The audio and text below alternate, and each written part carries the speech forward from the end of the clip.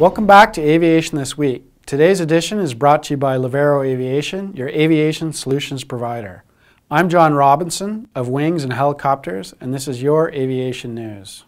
Your top story Pratt & Whitney receives Transport Canada approval to increase cycle limits on PT6A 140 series engines. Then Lockheed Martin invests in renewable fuels developed in Edmonton. And Hamilton Watch wraps up celebrating a century in aviation.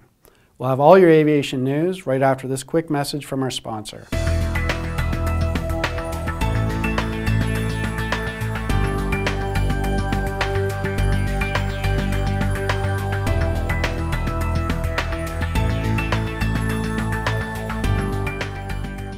Pratt & Whitney Canada received approval from Transport Canada to increase cycle limits on its PT6A 140 series engines which the company describes as the benchmark for single-engine IFR revenue flights in general aviation.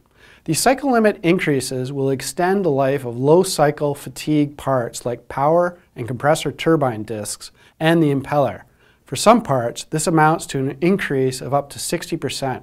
Pratt & Whitney explains, particularly for those who start these engines often, that the increase means operators will have ample time on wing to reach their second overhaul at 8,000 hours.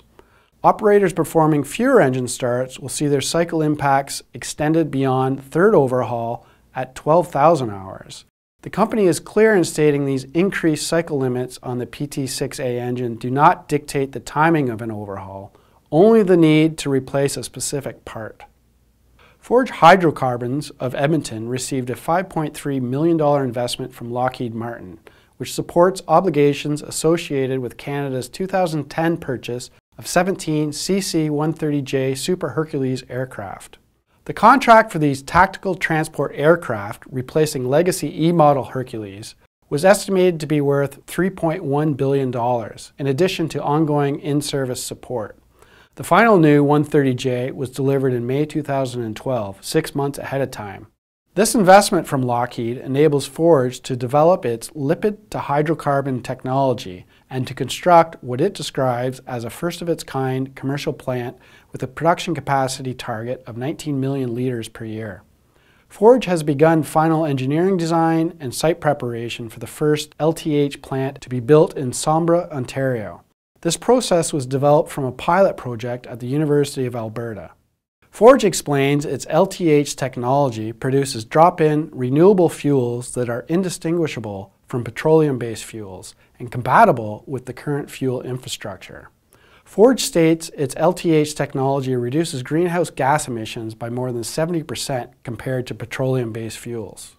Throughout 2018, Hamilton Watch celebrated a significant milestone in marking 100 years of providing timing technology for the aviation world.